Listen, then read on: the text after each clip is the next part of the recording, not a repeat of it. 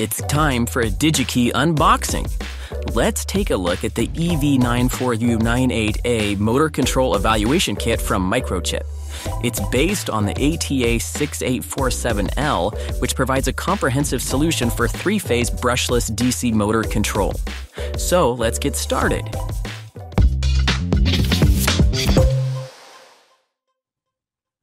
Inside the box, you'll find the main evaluation board featuring the ADA 6847L gate driver.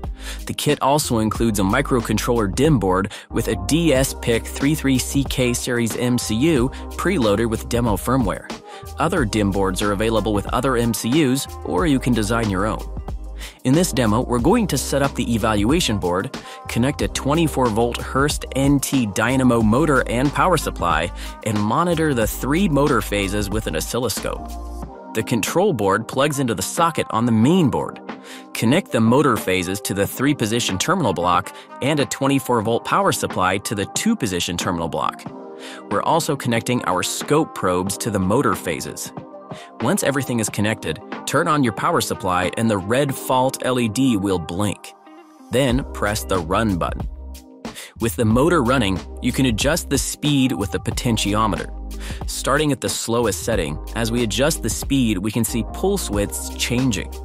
Once we get to the max speed, we'll stop the capture so you can actually see them. Microchip also provides the firmware so you can change the motor parameters or type, or use it as a starting point to write your own code. Thanks for watching!